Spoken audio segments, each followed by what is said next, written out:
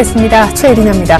아, 간밤에 사실 뉴욕에서는 혼조 양상이 빚어졌었죠. 페이스북 주가는 사상 최고가를 하지만 애플의 신제품 발표 이후 애플 주가는 또 한 번의 급락을 맞을 수밖에 없었는데요. 그 같은 섹터별 영향력이 우리 주가에도 그대로 녹아든 하루이기도 합니다. 무엇보다 주목받는 부분은 전일 코스피가 동시만기 이전에 석 달여 만에 2천선을 탈환한 데 이어서 오늘 동시만기를 맞아 장 초반 한 1시간 정도 흐른 지금에는 2천선 정도에서 쉬어가는 양상도 나타나고 있습니다.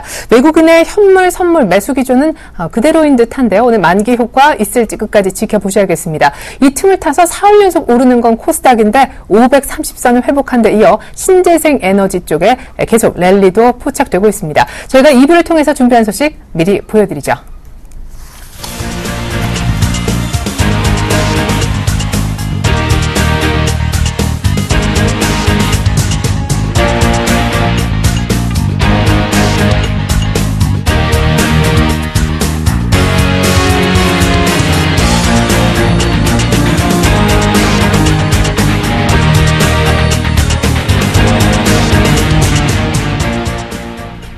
내일 마녀의 날이라는 9월 코드로풀 비칭대 코스피가 2천선 중심으로 치열한 공방전을 벌이고 있는데요. 전일 회복한 2천선의 의미와 앞으로의 시장 전망을 우리 투자증권 강현철 투자전략 팀장님과 함께 알아보도록 하겠습니다.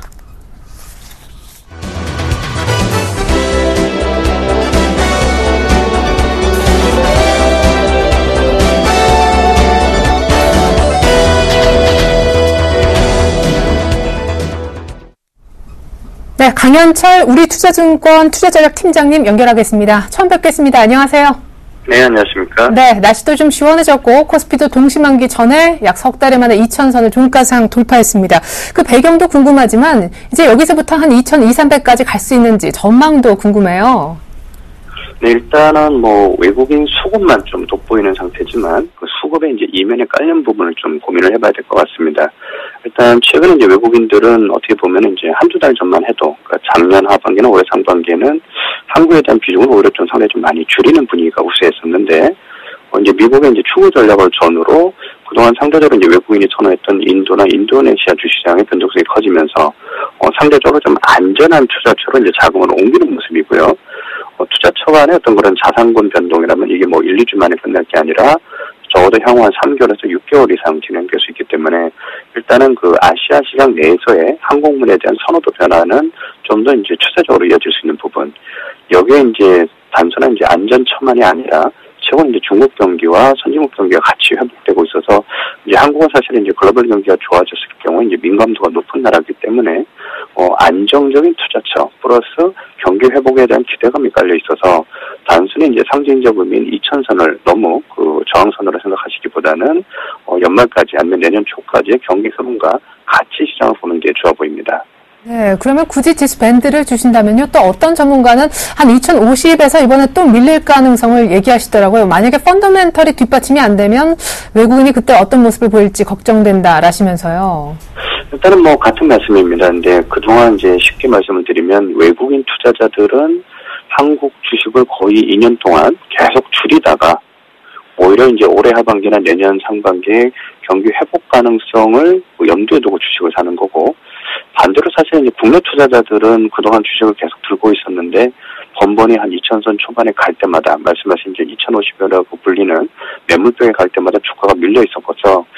그러니까 사실은 주식을 계속 들고 항공모를 봤던 사람은 오히려 2천에 대해서 불안감을 느끼는 모습이고 한국 주식이 없었다가 이제 채워가는 외국인은 오히려 크게 저항감을 갖지 않는 모습이어서 이 부분은 좀 약간 대조적으로 볼 필요가 있어 보입니다. 네. 외국인 수급 이면에 깔린 의미, 그러니까 외국인이 왜 이만큼 사줬나를 짚어주셨는데, 한 14거래 동안 전일 종가 기준 5조 2천억을 샀다고 합니다. 향후에도 계속 사줄까에 대한 의견을 여쭙고 싶은데, 계속 사준다 할지라도 매수 강도는 조금 탄력은 둔화될 수 있다는 전망도 있더라고요. 일단은 두 가지를 고민해 봐야 될 것 같습니다. 일단 첫 번째는 이제 다음 주 추석 전으로 해서 이제 미국의 FMC 회의가 열리는데 네. 현재 들어오는 외국인은 이제 미국의 그 추구 전략이 시행됐을 경우에 인도나 인도네시아, 브라질보다는 한국이 낫다라고 생각을 하고 들어오는 투자라고 본다면은 FOMC 회의 이후에도 매수가 유지될 가능성이 높아 보이는 거고요. 또 사실은 올해 상반기 기억하시면 이제 뱅가드 같은 약간 매도 물량이 있어서 외국인이 항공권을 거의 뭐 10조 이상 팔아놨다가 다시 이 부분을 좀 대사하는 모습이어서 아무리 짧게 봐도 사실은 뭐 올해 하반 연말까지는 물론 이제 금액은 사실 하루에 뭐 7천억, 8천억씩 산다는 것은 쉽지 않겠지만은 매수세가 유지될 가능성은 여전히 높다라고 보고 있습니다. 네. 그러면은 FMC 얘기를 조금 더 해보죠. 사실은 이제 벌써 9월 FMC 회의에서부터 양쪽 간의 규모를 줄이는 이른바 테이퍼링을 기정사실화로 받아들이고 있는데 이제는 규모가 때문에 관건이다라는 얘기가 있더라고요. 어떻습니까? 기정사실화 해도 됩니까? 일단 사실은 이제 대부분의 이제 외국계 자료나 실제로 미국 증시나 여타 주식 시장을 보셔도 어, FOMC 회의는 다음 주 화수에 열리지만은 이미 주가는 어느 정도 바닥에서는 점차 회복돼서 올라가는 모습을 보이고 있어서 이미 다수의 시장 참여자들은 FOMC 회의에 대해서는 우려감보다는 중립적인 정도의 재료로 판단하고 있는 것으로 보입니다. 다만 이제 FOMC 회의가 올해 9월부터 서서히 양적 완화를 축소해 가겠다. 이 부분이 이제 시행되는 게 가장 좋은 거고요. 의외로 17, 18일에 어, 상황이 그래서 먼저 이제 그 양적 완화 축소를 좀 지연할 수 있다. 그 예상하지 못했던 재료가 나왔을 경우에 시장이 이 부분을 좀 더 불확실성으로 볼 수 있기 때문에 노출된 재료는 스케줄대로 따라간다면 주가에는 더 이상 악재로 작용하지는 않을 것으로 보입니다. 네. 그러면 9월 FMC 회의 이후에 물론 이제 우리 추석 전후로 해서 독일 총선까지 껴있습니다만은 지수는 불확실성을 좀 해소하고 조금 더 탄력 있게 추가 상승도 할 수 있겠군요. 사실은 이제 원체 가파르게 올라왔기 때문에 조만간 네. 좀 쉬지 않겠느냐 이 분위기인데 주목하셔야 될 것은 어 이제 오늘이 쿼드러플이라고 불리는 이제 선물 쪽 옵션 만기인데 어, 오늘을 잘 지나가면 또 연말까지는 외국인만이 아니라 국내 쪽도 배당을 노린 기금 자금들이 적어도 4조에서 6조 원 정도 유입될 가능성이 높습니다. 따라서 연말 배당과 관련된 자금들이 들어올 가능성, 또 3, 4분기하고 4, 4분기는 원래 계절적으로도 국내 실적들이 잘 나오는 구간이기 때문에 연말까지 봤을 때 올해 우리가 얘기하고 있는 뭐 9월 달에 원래 위기론으로 대두됐던 FOMC 회의, 뭐 독일 총선 이런 부분들이 걷어지고 나면은 뭐 주가의 단기적으로는 조정을 받을 수도 있겠지만은 악재가 오히려 걷어진 이후의 방향성이 우상향이라면 뭐 매수 기조로 계속 유지하는 게 좋아 보입니다. 예. 자, 그러면 2천선에 이미 코스피가 올라와 있는 상황에서 조금 더 구체적인 투자 전략을 여쭙고 싶어요. 한간에는 이제 미련을 못 버리는 특별히 코스닥이 이제는 길을 맞춰주지 않을까 기대하시는 분들도 계시던데요. 코스피의 또 투자 전략은 어떻게 짜면 좋을지요? 뭐 일단 쉽게 말한다면은 그 주가가 지금 바닥에서부터 2천선까지 올라오는 과정에서의 주도주들은 비교적 뚜렷한 흐름입니다. 자동차, 조선, 화학, IT 같은 경기 민감 대형주 중심으로 주가가 올라가고 있고요.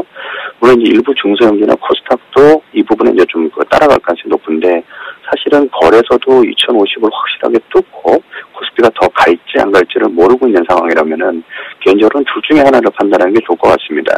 위쪽을 확실하게 뚫고 간다라고 보신다면은 기존 주도주 내에서 뭐 1등주나 2등주를 압축해서 계속해서 따라가는 전략이 좋을 것 같고요. 반대로 못 뚫을 거다. 이건 오히려 이제 조정을 감안하신 거기 때문에 이 경우에는 뭐 중소형주나 코스닥으로 가시기보다는 현금 비중을 어느 정도 가지시고 시장에 여유를 갖고 대응하는 전략이 좋을 것 같습니다. 네. 마지막 얘기를 다시 한번 좀 들어보고 싶어요. 일단 위쪽으로 시장에 더 간다에 베팅한다면 기존 바닥권에서부터 올라올 때 주도주 가운데 1, 2등 주로 압축하자라고 하셨고 또 한 케이스는 뭐였나요?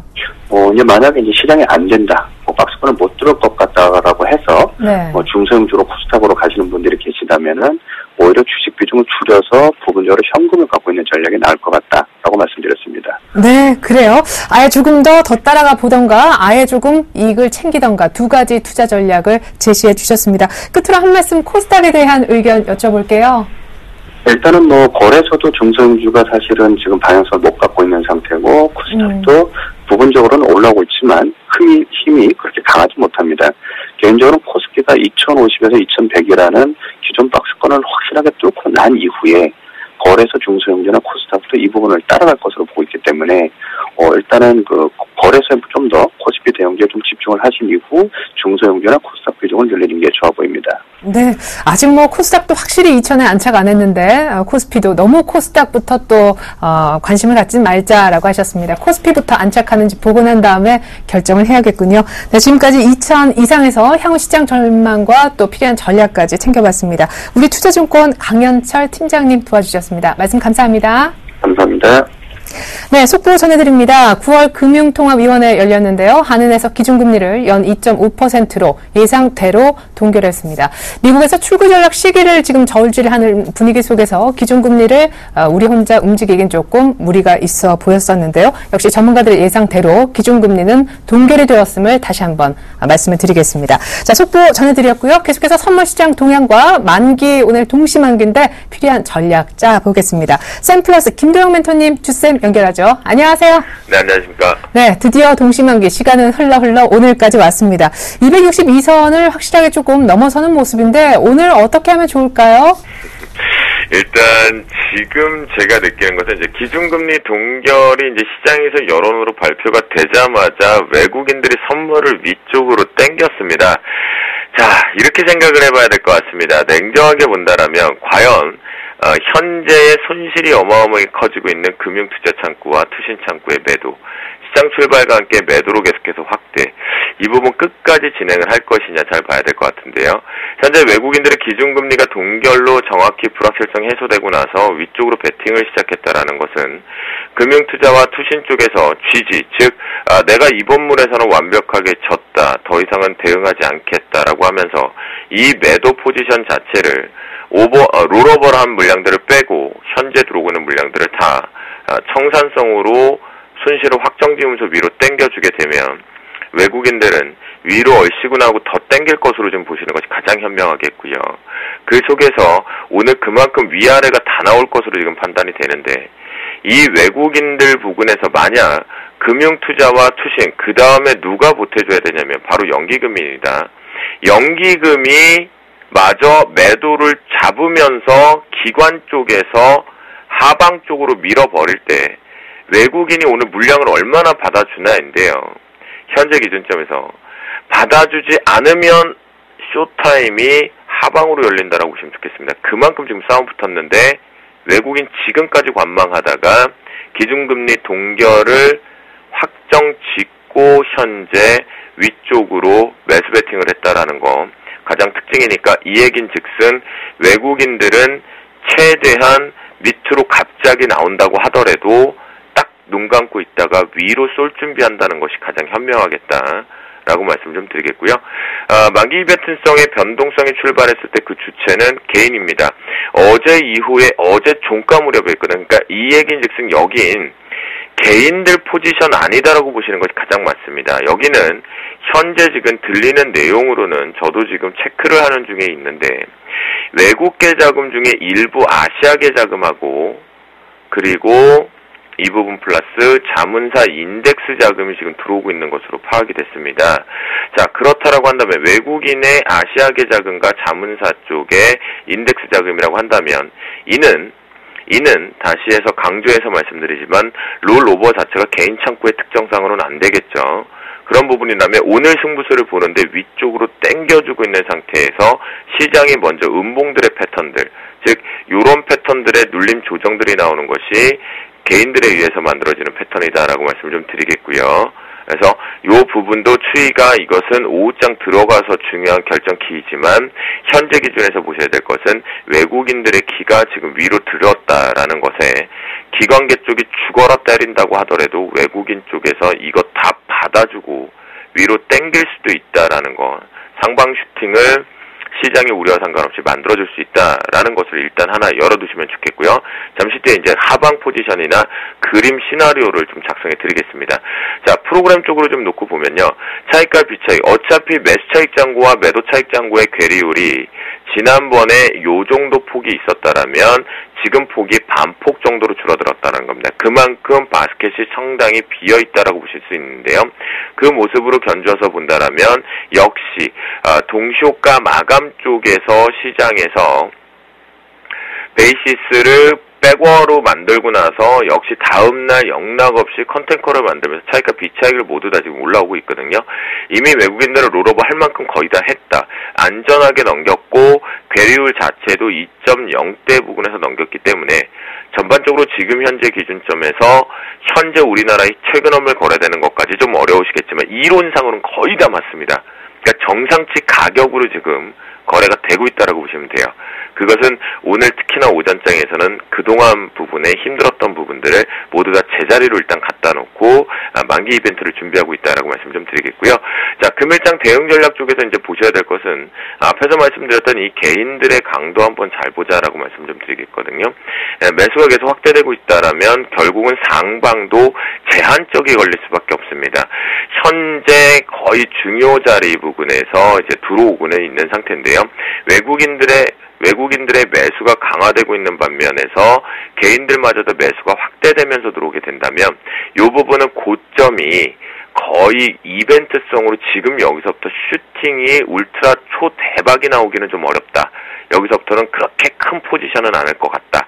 상방이 그렇게 보시는 것이 가장 좋겠고요. 어, 외국인들의 매도가 확대될 시에만 고점 매도를 좀 때리자라는 말씀을 좀 드립니다. 외국인들 매도가 확 정으로 매도 전환이 되어지만 하방 이벤트가 좀 클 것으로 좀 보이니까요. 그것이 아니라고 한다면 여러분들께서는 외국인들의 매도 강도를 보고 이것이 확대가 되지 않는다라면 매수 매도를 반복하는 어, 조금 도깨비 장세로 짧게 짧게 끊어내는 전략이 가장 유리해 보입니다. 현재 기준점에서 싸움은 가장 크게 붙은 것은 바로 이 외국인과 기관계 쪽에서 금융 투자와 투신의 도합으로 싸움이 붙었습니다. 그렇기 때문에 요들의 싸움에서 금융투자 투신이 먼저 쥐지를 선언할 것이냐 내가 졌다 다음 물에 차월물에 승부 보겠다 라고 할 것인지 외국인들이 아니면 좀 도와줄게 롤오버를 했으니 가서 보자 이렇게 잡을지 지금 기로에 있는데 아직 이벤트 제대로 안 걸고 있다라고 말씀드리겠고요. 자, 금일 황금 라인 잡으면서 그림을 시나리오로 하나를 좀 그려드리겠습니다. 그림을 그리는 저는 이제 차트에 보면 우리 뚱땡이들의 패턴들을 보는데요.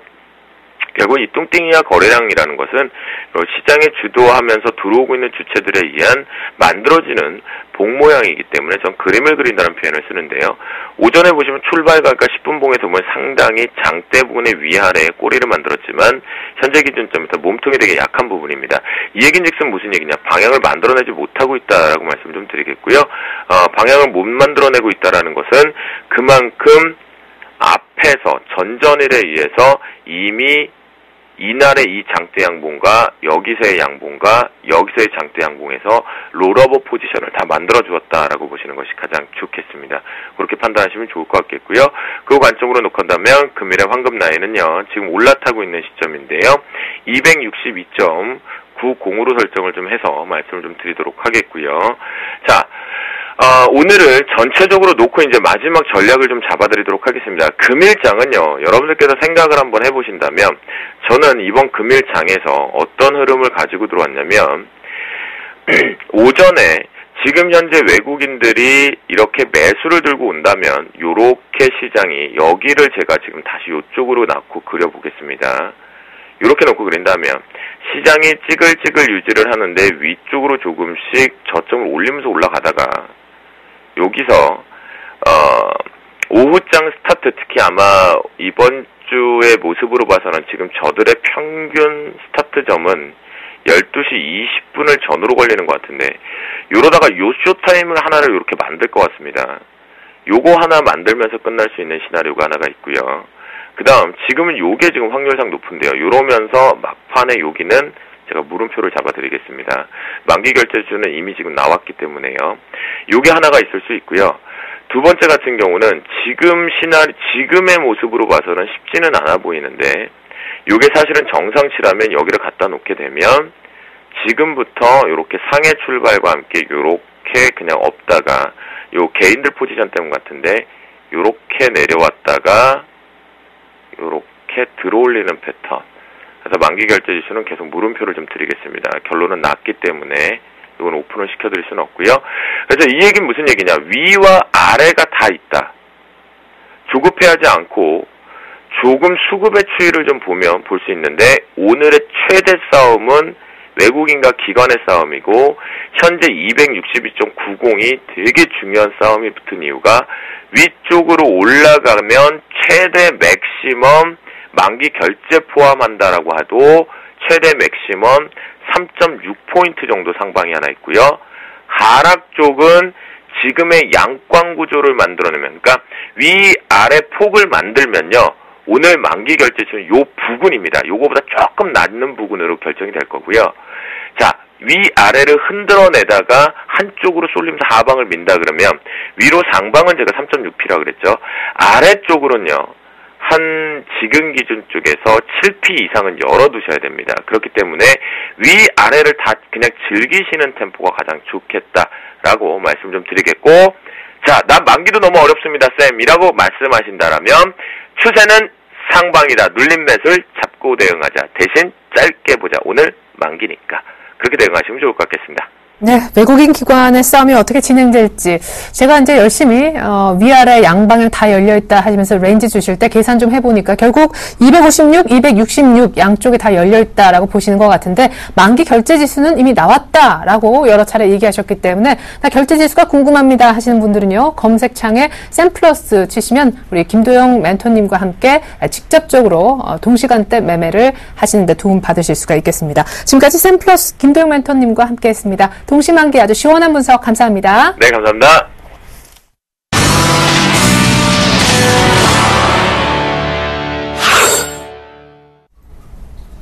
네, 정말 김도영 멘토님의 말씀대로 금통위 금리 동결 결정 이후에 외국인들의 선물 쪽 매수가 상당히 강하게 붙고 있는데요. 2004선 정도에서 움직이고 있습니다. 이 시각 현재 up and down 특징주 보여드릴게요. 네, 오르는 종목 가운데 오늘 동부건설 얘기가 아침부터 나왔었죠. 자회사인 동부익스프레스가 큐캐피탈 쪽에 매각된다라는 소식 때문에 이미 가격 제한폭까지 올라가 있고요. 현진 소재는 지금 최근에 단조주의 상승 랠리가 뭐 연이어 나오고 있는데요. 지금 뭐 한 5천 원에서 7천 원까지 오는데 4월밖에 걸리지 않았습니다. 미디어플렉스 어, 영화 관상의 배급사로 알려져 있죠. 전일부터 이미 영화 관상은 추석을 겨냥해서 개봉을 한 상황인데 흥행 기대감 때문에 어제미 외국인들이 상당한 물량을 사줬고요. 오늘까지 연이틀 3%대 추가 상승을 보이고 있습니다. 네, 이어서 다음 주세 종목 보실까요? TPC. TPC는 8월 전달에 한 두 배가량 올랐어요. 그런 다음에 이제 9월 들어 약간 찰실현 매물이 나오는 과정으로 보여집니다. 오늘도 그 가운데 하나인 것 같고요. 경봉은 실적이 조금 악화된 모습입니다. 오늘 마이너스 7%대까지 허용했었는데 낙폭을 다소 줄이려는 시도를 보이고 있습니다. 수산중공업 우선주, 시장 강세에 따라서 이상급 등을 보여줬었던 우선주들이 오늘 일제히 하락하는데 어제 이미 약간 롤러코스터 장세를 보여줬었고 오늘은 확실히 급락 쪽으로 시세를 내고 있습니다. up 특징주 분석을 먼저 들을까 합니다. 동양증권 계양지점으로 가서 원상준 대리님 만나겠습니다. 안녕하세요. 예, 안녕하세요. 네, 먼저 동부건설 얘기도 들어보고 싶고요. 사실 단조주 사고 싶은데 못 잡은 분들이 대응법을 상당히 궁금해하실 것 같습니다. 현진 소재 얘기하시면서 그 부분도 좀 어, 솔루션을 주시죠. 예, 알겠습니다. 예, 먼저 동부건설입니다. 동부건설이 지분 50%를 보유하고 있는 자회사인 동부익스프레스가 사모펀드에 매각된다는 소식에 상한가를 기록하고 있습니다. 동부건설이 이번 딜을 통해서 약 한 1,400억 정도 가량의 현금을 확보하게 되었는데요. 이는 동사의 재무구조 개선에 긍정적인 역할을 할 것으로 보입니다. 동부건설의 경우에는 지금 신용등급이 BBB 마이너로 시장에서 민평금리가 한 8에서 10%대 거래가 되고 있습니다. 이번 딜을 계기로 신용등급 상향 등 긍정적인 효과가 나오게 된다면 자금 조달 금리를 낮출 수도 있다는 기대감이 형성이 되면서 금일 상한가를 붙이고 있는데요. 자, 오늘 아무래도 상한가는 풀리진 않을 것 같고요. 뭐 내일 접근하신 분들이라면은 좀 추경 매수는 주의를 하시고 좀 눌림목 있을 때 단타로 접근하시면 좋을 것 같습니다. 예, 두 번째 종목 현진 소재입니다. 지금 전 세계에서 풍력 발전 시장이 가장 활성화된 국가가 미국인데요. 미국 풍력 발전 시장에 그 내년 성장률이 올해 대비 한 18% 정도 증가할 것이라는 분석이 나오면서 풍력 테마주들이 연일 강한 모습을 보이고 있습니다. 특히 현진 소재의 경우에 지금 여타 풍력 관련주들 대비해서 가장 강한 상승 탄력을 보여주고 있어서 요 이제 풍력 테마의 대장주 역할을 하고 있는 것 같은데요. 일단은 현진 소재 같은 경우에는 지금 7,000원, 7,080원, 70원 왔다 갔다 하는데 한 7,000원 언더에서 매수 가능하시면 매수 한번 해보시고요. 손절은 6,850원 손절 잡고 장중 단타 대응 하셔야 됩니다. 이런 종목들 같은 경우에는 지금 이 풍력 테마라는 것 자체가 지금 기름값이 많이 뛰고 뭐 이렇게 되면서 올라가야 되는 이제 대체 에너지 테마인데 지금 뭐 기름값이 그렇게 많이 뛸 그 여지도 없고 그렇기 때문에 좀 단기 대응으로 접근하시는 게 좋을 것 같고요. 이제 마지막으로 이제 미디어 플렉스입니다. 이 전일 동사의 신작 영화인 관상이 개봉을 했는데요. 이번 영화의 경우에는 추석 시즌 예매율이 시즌 역대 최고치를 기록을 했다고 합니다. 예전에 1위 했던 영화가 이제 타짜였는데 타짜가 한 50% 정도 예매율이 나왔었는데 그거보다 한 4% 정도 더 높은 54% 정도의 예매율을 보였다고 합니다. 관상 개봉 이전에 7월 중순에 미스터고라는 영화를 이제 미디어 플렉스에서 개봉을 했었죠. 근데 흥행 참패가 나오면서 좀 많이 하락을 했었는데요. 금번에 그때 나왔었던 적자 부분을 충분히 만회할 수 있다는 기대감이 형성이 되면서 강한 모습을 연출을 하고 있습니다. 지금 미디어 플렉스가 4,895원에 거래가 되고 있는데요. 예. 4,900원 이하에서 분할 매수로 접근하시고요. 목표가는 5,500원, 손절 가격은 4,800원 보시고 매매 대응하시면 좋을 것 같습니다. 네, 미스터 고는 예상 외로 좀 흥행이 되지 못해서 아쉬움을 남겼지만은 이번에 관상 대박을 한번 기대해 보자. 어쨌거나 목표가까지 좀 잡아 주셨습니다. 미디어 플렉스 가격도 감사드리고요. 현재 소재 단기 trading 하실 때 필요한 손절 라인까지 잘 전해 들었습니다. 동양증권 원상준 대리의 분석이 있었습니다. 감사합니다. 감사합니다. 네, 이어서 다음 주 분석 곧바로 이어서 들어볼까 해요. 유진투자증권으로 가겠습니다. 안상현 대리님 안녕하세요. 네, 안녕하십니까? 네, 3D 프린트 테마로 같이 엮이면서 지난달에 100% 아, 두 배가량 급등했었던 TPC가 9월 들어 약간 조정받네요. 네, 지금 오늘도 370원 정도 빠지면서 4% 정도 빠진 뭐 지금 7,750원에 거래가 되고 있고요. 지금 단기간에 급등을 한 이후에 어느 정도 어, 올랐다고 생각이 됐는지 수급적으로 조금 밀리는 모습을 보이고 있고 지금 MACD도 이제 조만간 뭐 하락 시그널이 나오면서 기간 조정에 좀 들어갈 것 같습니다. 어, 그렇기 때문에 단기 급등에 따른 차익 실현이 좀 나올 거라고 판단이 되고요. 지금 어느 정도 거의 고점인 9,290원에서 7,750원까지 뭐 굉장히 많은 폭으로 하락을 했기 때문에 뭐 여기서 기간 조정을 보이기 보이더라도 박스권으로 유지할 가능성이 높아서 어, 박스권을 유지할 때 뭐 매수 해보고 싶으신 투자자분들이라면 조금씩 분할적으로 매수를 해보셔도 될 것 같고 지금 매도를 생각하고 계시는 투자자분들이라면은 지금 좀 반등을 할 때 박스권으로 진입을 할 것 같으니까 반등을 할 때 좀 어, 정리를 하시는 편이 좋다고 판단이 되고 있습니다. 두 번째 종목은 경봉입니다. 경봉 오늘 6% 가까이 빠지면서 180원 하락한 2,805원에 거래가 되고 있고요. 내용을 보면은 뭐 지능형 교통 시스템 ITS 그 전문 업체인 경봉이 올해 그 적자 늪에 좀 빠졌습니다. 상반기에 그 주력 사업이었던 그 ITS의 매출이 급감을 하면서 영업 적자를 기록을 했고요. 하반기에도 turnaround가 높지 않다는 평가가 나오면서 오늘 대량의 매도세와 함께 어, 지금 6%대 빠지고 있고요. 지금 차트로 보던가 수급으로 보던가 볼린저 하단을 돌파를 하면서 하단으로 어, 나오고 있기 때문에 지금 경봉을 보유하신 고객님들이라면은 조금 비중을 축소하는 전략을 취하시는 게 좋다고 저는 조금 판단을 하고 있습니다.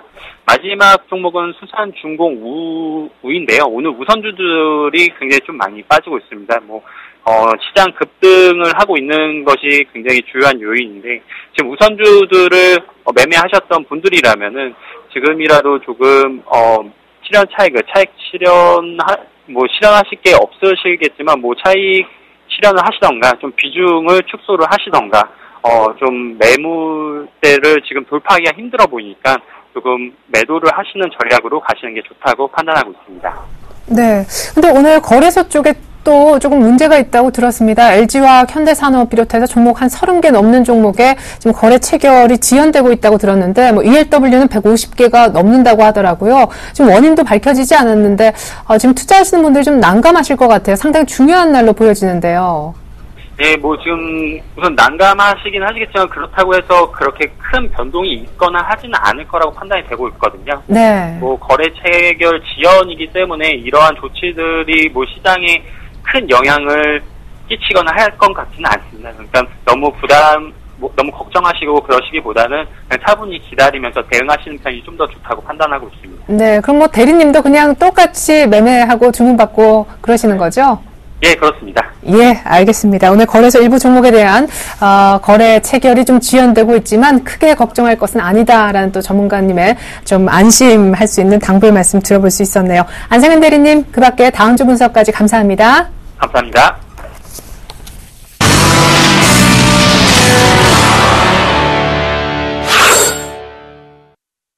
거래소 포인트가 2008선까지 올라와 있습니다. 앞서 전문가들의 오늘장 전략 필요한 것들만 다시 한번 종합해 봤습니다.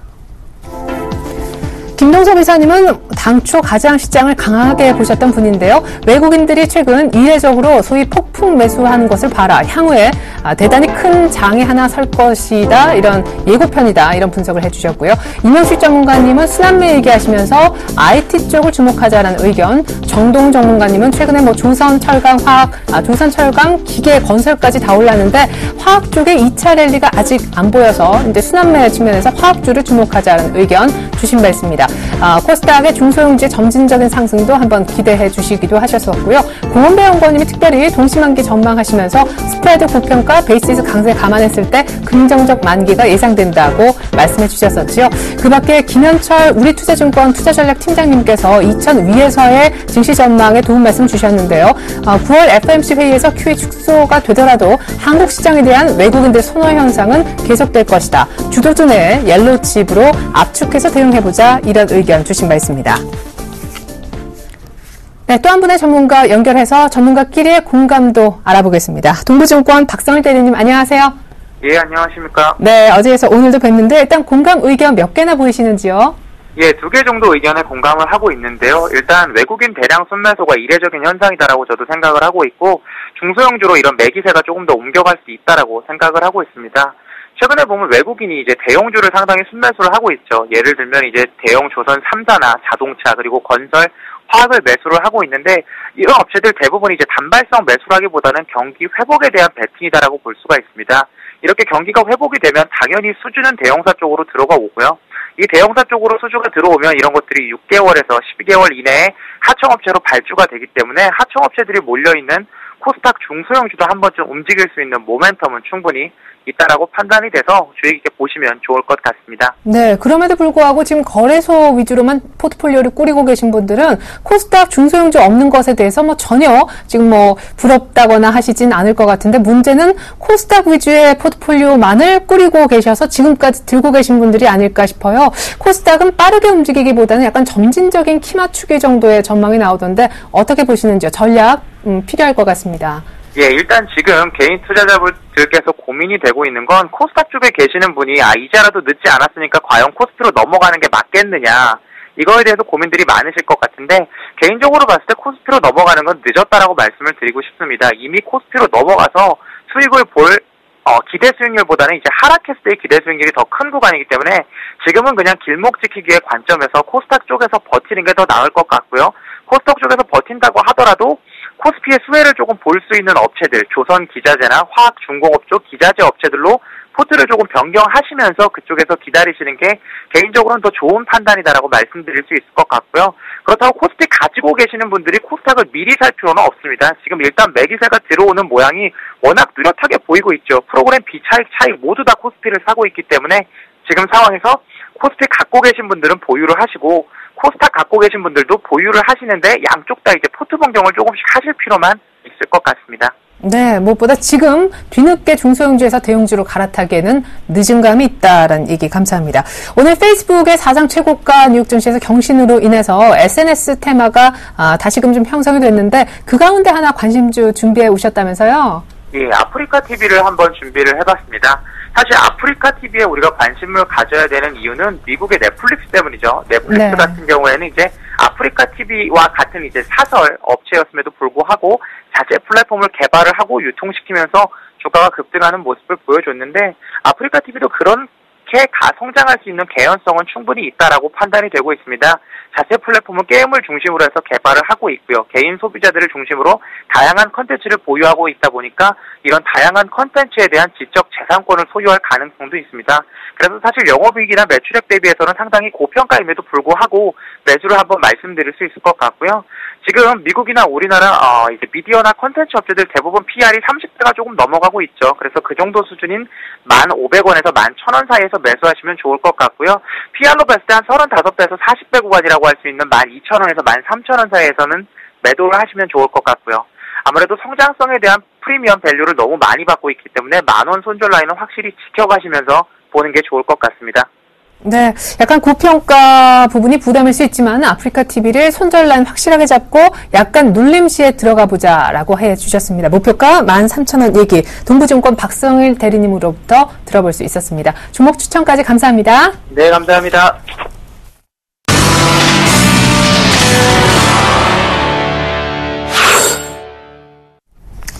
네, 우리 오늘 동시만기 또 한 번의 변곡이 될 수 있는 자리 중국장이 개장했습니다. 분위기 알아보죠. 리딩 투자증권 우성재 팀장님 안녕하세요. 네, 안녕하세요. 네, 리커창 총리가 보니까 하계 다보스 포럼이라 불리는 세계 경제 포럼에서 올해 성장률 7.5% 무난하게 달성할 수 있다 이렇게 얘기했는데 다른 타기관 쪽에서도 중국의 성장률을 상향 조정하는 분위기라면서요. 예, 최근 지금 시장에서의 지표 호전 속에서 중국 경제에 대해서 계속적으로 전망치가 상향되고 있는 상황입니다. 지금 이러한 흐름세 속에서 지금 리커창 총리의 언급 등이 중국 증에 중국 증시에는 좀 호재로 작용되고 있는 모습인데요. 먼저 도이치뱅크에서는 중국의 GDP 성장률 예상치를 상향 조정하면서 이러한 분위기를 좀 이끌고 있습니다. 지금 2013년도 3분기 중국의 국내 GDP 성장률 예상치를 기존의 7.7에서 7.9%로 상향 조정하는 모습을 보였었는데요. 4분기도 7.8에서 8%로 상향 조정하는 모습을 보이면서 중국 경제 회복세가 눈에 띄게 보일 것이라는 전망이 나오고 있는 상황입니다. 지금 메릴 린치 또한 2013년도 GDP 성장률 상향 가능성이 증가하고 있다는 언급을 내놓으면서 지금 외국계 기관들의 GDP 성장률 상향 조정 움직임 계속적으로 이어져 나가고 있는 모습을 보이고 있는 만큼 중국 경제에 대한 회복 기대감은 더욱더 확대되고 있다고 보시면 좋을 것 같습니다. 지금 중국 재정부에서는 중국의 8월 재정 수입 또한 9% 증가한 것으로 발표를 하면서 중국 경제 회복에 대한 무게감이 더욱더 확대되고 있는 상황인데요. 지금 중국의 8월 부동산 기업의 자금 조달 규모는 625억 위안으로 나타나면서 부동산주들은 이러한 흐름세 속에서 조금은 소외를 받을 것으로 전망이 되고 있는 상황입니다. 오늘 상해 종합주가지수 시장에서 기대감이 좀 많이 확대되고 있는 모습을 보이, 보이고 있지만 아무래도 단기적으로 급등을 했던 만큼 시장에서의 단기 차익 매도 물량들이 출현하고 있는 상황인데요. 현재 상해 종합주가지수 0.34% 하락한 2233.75포인트의 장 움직임을 보이고 있는 가운데 이, 이러한 수준에서 큰 폭의 하락보다는 기간 조정의 움직임을 보이면서 행보할 수 있는 만큼 이러한 부분 염두하시고 접근하셔야겠습니다. 네, 분위기는 좋지만 석 달러 최고치를 기록하는 상해 종합지수 2200선 정도에서 약간 쉬어갈 가능성이 있다라는 말씀 들어봤습니다. 우성재 팀장님 감사합니다. 예, 고맙습니다.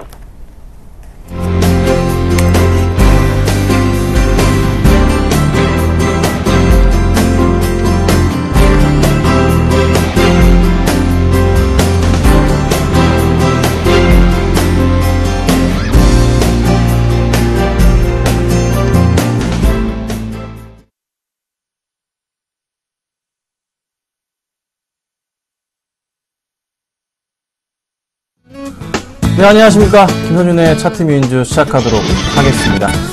자, 확실하게 지금 뭐 지수의 움직임 자체가 굉장히 좀 좋습니다. 오늘 동시만기가 맞는가 할 정도의 흐름인데요. 굉장히 좋게 움직임이 있다는 거 긍정적인 모습인 것 같고요. 조금 이제 외인들의 수급이 굉장히 중요한 포인트인 것 같습니다. 오늘의 좀 수급 상황 먼저 살펴보자면요. 자, 현재 외인들의 수급 상황 천억 원 정도 매수가 잡히고 있습니다. 자, 선물은 어떤 모습일까요? 선물도 역시나 수급이 긍정적이죠. 대부분 조금 roll over, over 하는 것으로 판단이 됩니다. 말씀드렸던 포인트가 좀 정확하게 좀 맞춰, 맞아 들어가는 것 같고요. 또 관련주로서 추석 특수 관련해서 어, 상승을 좀 주지 않을까라는 판단이 됩니다. 그래서 꾸준하게 관련주 역시나 관심 있게 좀 필요가 있는 그런 시장인 것 같습니다. 자, 바로 종목 보겠습니다. 오늘 한 종목 목표가 달성을 했습니다. 살펴보고요. 오늘 관련 또 좋은 종목 가지고 나왔기 때문에 보도록 하겠습니다. 자, 현재 보여본 종목이 총 이제 한 6종목이었는데요. 아, 인성 정보가 오늘 지금 아, 제가 들어오기 전에 목표가 달성을 했습니다. 그래서 5,770원 기준으로 해서 3.03% 목표가 도달했고요. 저희가 5,600원에 샀죠. 5,780원까지 올랐다가 약간 밀려있네요. 지금도 2% 정도 수익 중입니다. 수익 축하드립니다. 어, 정리하시면 될 것 같고요. 자, 캠트로닉스가 조금 마이너스입니다. 하지만 기다리겠습니다. 그리고 SM이 거의 보합권 움직임이고요. 그리고 아시아나항공이 1%가량 수익 중이고요. CJ CGV도 2%가량 현재 수익 중에 있습니다. 자, 그리고 네오이즈 게임주도 1%가량 현재 수익 중에 있습니다. 자, 대부분 종목이 수익 중이고요. 어, CJ CGV도 조금 굉장히 상승폭이 가파르기 때문에 조만간 다시 또 목표가 달성. 아마 내일장에서 몇 개 종목이 좀 나와주지 않을까라는 생각도 드네요. 좀 대부분 종목들 전부 다 홀딩하시면 될 것 같고요. 잘 좀 가시가시면 좋을 것 같고, 어, 좀그 중에서 인성정보랑 CJ CGV 오늘 영화 관상이 어제 개봉했는데 37만 명이 봤답니다. 굉장히 많이 봤죠? 얘기 좀 잠깐 드려볼게요.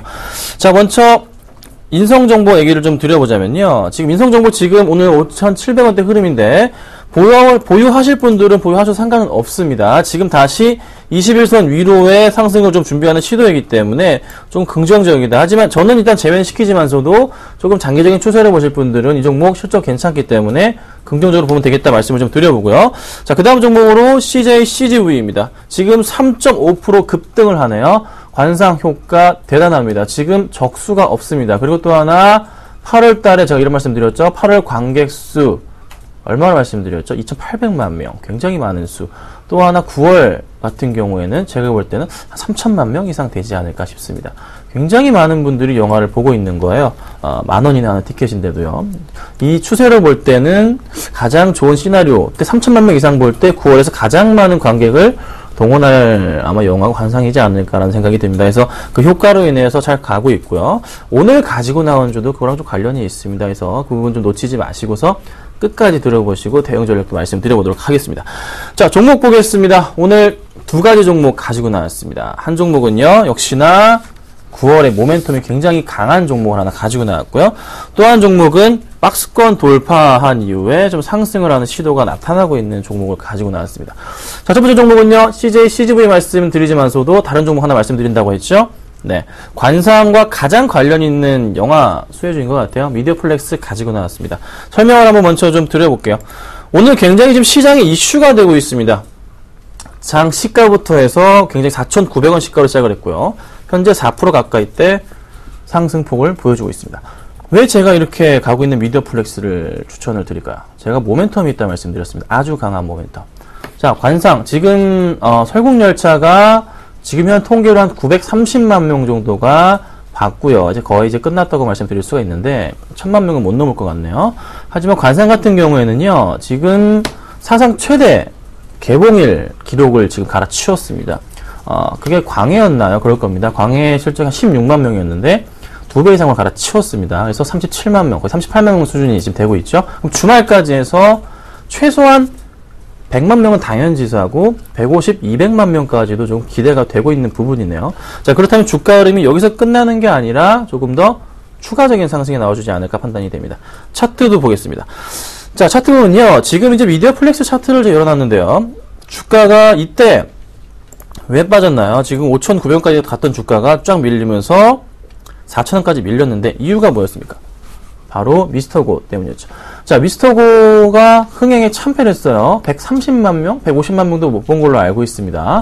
자, 근데 사실 미디어플렉스는 미스터고를 뭐 제작을 참여한 게 아니란 말이에요. 배급만 했어요. 그런데 이번에 관상은 미디어플렉스가 참여를 했습니다. 직접 참여를 했어요.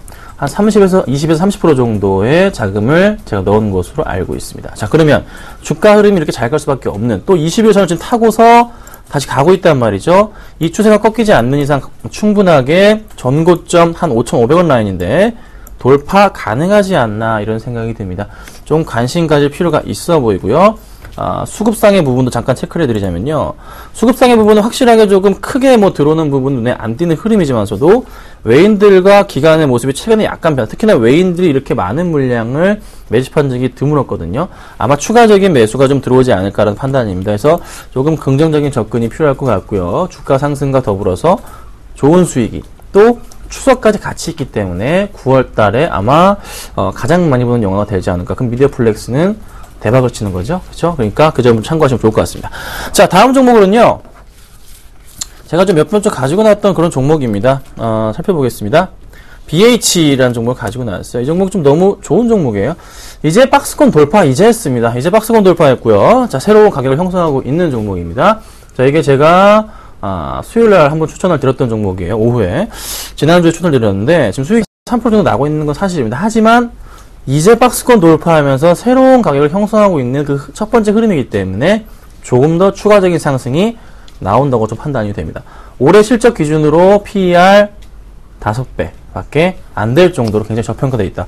자, 이 박스권 말씀드리는데, 이 박스권 내 8월 한 달 내내 머물렀던 이 구간이에요. 이거 지금 뚫고서 이제 올라가는 딱 그 초입이라고요. 보통 이렇게 박스권 좀 더 확대해 볼까요? 이 박스권 내에서 이 고점을 딱 뚫고 올라간 이후에 올라간 이후에요. 이렇게 지금 짧게 횡보한 이 구간이잖아요. 이 구간이 굉장히 좋은 매수 포인트거든요. 이 구간 때 매수를 하시면은 충분하게 반등을 줄 수 있는 또 모멘텀이 있는데 수급 모멘텀이 또 같이 있습니다. 자, 수급 보이시나요? 기간들 빨갛게 매수가 들어와주고 있어요. 근데 지금 종목은 크게 안 갑니다. 예, 이거 지금 약간 스프링처럼 눌렸다가 한번 튈 준비하고 있는 거거든요. 걱정 마시고서 대응을 하시면 됩니다. 역시나 BH 역시나 매수하신다면은 한 3% 이상 수익 내지 않을까 판단되는 그런 종목이다. 좀 말씀을 좀 드려보겠습니다. 자, 그럼 제가 오늘 어떤 종목을 추천해 드릴까요? 추석 연말까지 모멘 연말 9월달 말까지 모멘텀이냐 아니면은 IT 실적주냐 차트가 이쁜 종목이냐 둘 다 차트는 굉장히 이쁘죠 거의 비슷합니다 어, 오늘은요 네 주말에 영화 한 편 좀 보시는 거 어떨지 말씀을 좀 드려봅니다 미디어플렉스를 말씀드려볼게요 미디어플렉스를 말씀드리는 이유 정말 차트상의 흐름도 이쁘고요 좀 기대가 됩니다 주말에 관객 수에 따라서 주가 흐름 다시 한번 탄력적으로 반등 줄 것 같아요 저희 그 포인트 노리자고요 길게 보지 말고요. 그 포인트 노려서 빠져나오도록 하겠습니다. 자, 지금 현재 4,870원의 흐름인데요. 현재 창 볼게요. 4,870원에 못 사네요. 살 수 있겠습니다. 4,870원 까지만 사도록 하겠습니다. 4,870원에 매수를 하도록 하고요. 반등이 나온다면은 충분하게 목표가는 3% 이상 가능하지 않나 충분히 5,000원 이상까지 한번 도달 가능하다고 판단이 됩니다. 걱정 마시고 가져가시면 될 것 같고요. 어, 수익이 난다면 그 이상까지도 좀 더 기대하고 있습니다. 그래서 꼭 좀 holding 하시는 전략 필요할 것 같습니다. CJ CGV도 잘 holding 부탁드리겠습니다. 자, 오늘은 제가 미디어 플렉스를 말씀드려봤고요. 아마 CJ CGV랑 같이 목표가를 달성하지 않을까 생각이 드는 종목입니다. 꼭 좀 holding 하시길 부탁드리겠습니다. 김선윤의 차트 미인주였습니다. 감사합니다.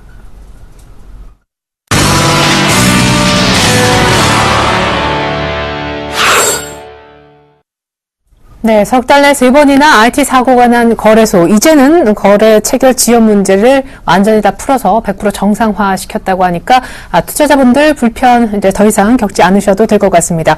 외국인들이 더 땡기네요. 2010선도 회복했습니다. 외국인들 선물 매매 기조 또 특별히 매수 강도 체크해 보시기 바라겠습니다. 내만의 선물 기다려도 될 것 같네요. 출발 진시바이드 마칩니다. 고맙습니다.